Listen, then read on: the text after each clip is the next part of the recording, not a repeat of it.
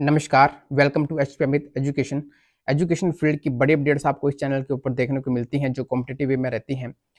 SMC के teachers की एक और बड़ी अपडेट लगी है कि जो एलडीआर का एग्ज़ाम उनका होना है फाइव परसेंट का जो कोटा उनको एक अलग मिला हुआ है कि एलडीआर के एग्ज़ाम के थ्रू जो है वो एसएमसी के टीचर्स रेगुलर हो सकते हैं, जो कि बैच वाइज के कोटे से पाँच काटा गया है।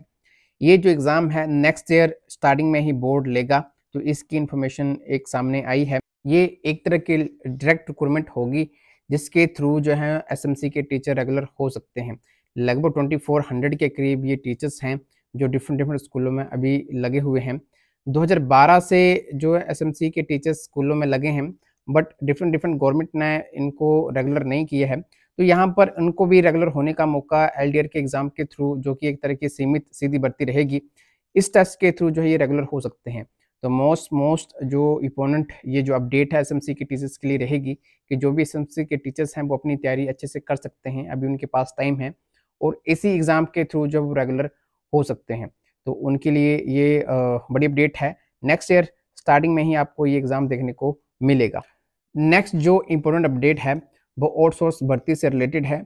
अभी हिमाचल में जो अपकमिंग रिक्रूटमेंट में प्री जो नर्सरी टीचर्स हैं, उनकी जो भर्ती है, वो भी पेंडिंग चली है। और साथ ही साथ कुछ पोस्टें नर्सिंग की भी जो अप्रूव हुई हैं। तो ये सारी ही भर्तियाँ जो आउटसोर्स के तौर पर गवर्नमेंट करने की बात काफ़ी लंबे समय से कर रही है। और जो एन की भर्ती है, ये लगभग दो तीन साल से जो है वो न्यूज़पेपर के माध्यम से हमें देखने को मिल रही है बट इसमें कोई भी कंफर्म समाधान नहीं मिल रहा है। जो गवर्नमेंट की तरफ़ से समाधान किया गया था कि ये जो रिक्रूटमेंट होगी, इसे हम आउटसोर्स के तौर पे करेंगे, जिसे इलेक्ट्रॉनिक डेवलपमेंट कॉरपोरेशन की जो कंपनी है, वो जो है भर्तियों को करेगी और एक तरह की और सोर्सेज भर्तियाँ ये होंगी। और जो नर्सिंग की जो भर्ती है, वो भी जो है यही कंपनी करेगी। तो इसमें जो है वो फ्यूचर, जो है वो, जो अब टीचर्स रखे जाएँगे, उनका नहीं है। साथ ही साथ जो अदर डिपार्टमेंट यहाँ पे मेंशन किए गए हैं तो उनमें भी और सोर्स के तौर पर भर्तियाँ होंगी। तो अभी इनके ऊपर जो माननीय कोर्ट की तरफ़ से रोक लगाई गई है। ये जो बेरोजगार संघ उनके द्वारा जो माननीय कोर्ट में बात रखी गई थी तो नेक्स्ट जो सुनवाई होगी, वो 21 नवंबर को होगी। मींस कि 21 नवंबर को माननीय कोर्ट में ये जो केस है अगेन लगेगा कि ये जो भर्तियाँ होंगी और सोर्स तौर पे होंगी या फिर नहीं होंगी। इसमें लगभग 6000 से अधिक पद एंटिटी भर्ती से रिलेटेड हैं और 400 से अधिक पद जो हैं, वो नर्सिंग भर्ती से रिलेटेड हैं। और अपकमिंग जो अदर डिपार्टमेंट की रिक्रूटमेंट में हैं वो भी जो है इस केस के ऊपर काफ़ी कुछ डिपेंड करेगा। तो ये भी एक बड़ी अपडेट है। नेक्स्ट जो इम्पोर्टेंट अपडेट है, वो कमीशन के एग्ज़ाम से संबंधित है। काफ़ी दिनों से कमीशन की अपडेट्स आ रही हैं कि लगभग छः हज़ार के अराउंड जो एलिमेंट्री में पोस्टें फिल होनी हैं, जिसमें बैच वाइज की भी रिक्रूटमेंट थी और कमीशन की भी रिक्रूटमेंट थी। बैच वाइज टी और जेबीटी में कंप्लीट हुआ है। साथ ही साथ शास्त्री में भी जब वो बैच वाइज हुआ है बट उसका रिज़ल्ट अभी आया नहीं है। तो गवर्नमेंट की तरफ़ से कई कई बार एजुकेशन मिनिस्टर के द्वारा, कई बार माननीय मुख्यमंत्री के द्वारा जो बार बार बोला जाता है कि ये जो रिक्रूटमेंट हम करवाएँगे।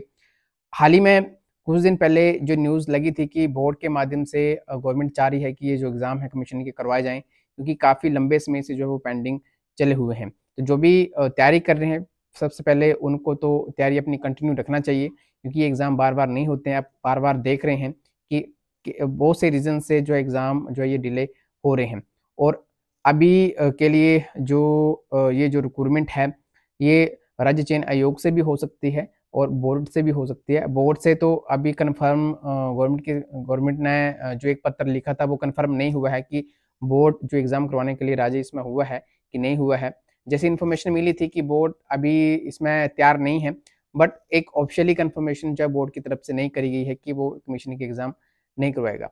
अगर उससे संबंधित कोई अपडेट आएगी तो वो भी हम आपको बता देंगे। बट ये जो रिक्रूटमेंट है, ये पाइपलाइन में रिक्रूटमेंट है, आने वाले टाइम में आपको जो कमीशन के एग्ज़ाम देखने को मिलेंगे। इसमें J V T T T साथ साथ में शास्त्री की पोस्टें अप्रूव हैं और कुछ सी एन बी कैडर में भी पोस्टें जो वो अप्रूव हैं, जिनकी रिक्रूटमेंट हमें आने वाले टाइम में देखने को मिल सकती है। नेक्स्ट भर्तियों से संबंधित एक और अपडेट है कि जो नया राज्य चयन आयोग बना है उसमें एक स्थायी जो अध्यक्ष हैं प्रेसिडेंट हैं, वो यहाँ पर नियुक्त किए गए हैं। जब पॉलिसी बनाई गई थी, तब अलग तरीके का स्ट्रक्चर था बट डे बाय डे जो स्ट्रक्चर में यहाँ पर चेंज हो रहा है और अभी एक जो स्थायी अध्यक्ष है, वो बोर्ड को मिल गया है कमीशन को मिल गया है। अपकमिंग जो रिक्रूटमेंट होगी, काफ़ी कुछ डिपेंड करेगा और इनके द्वारा भी बोला गया है कि जो अपकमिंग रिक्रूटमेंट राज्य चयन आयोग के माध्यम से होगी, वो पूरी पारदर्शिता से हम करवाएँगे। तो जो नए अध्यक्ष बने हैं, वो राजीव कुमार बने हैं तो यहाँ पर जो उनके बारे में डिटेल में इन्फॉर्मेशन दी हुई है। आई होप आपको ये छोटी सी इन्फॉर्मेशन पसंद आई होगी। वीडियो पसंद वीडियो को लाइक शेयर ज़रूर करें और जिन्होंने भी चैनल सब्सक्राइब नहीं किया चैनल को सब्सक्राइब कर सकते हैं। धन्यवाद।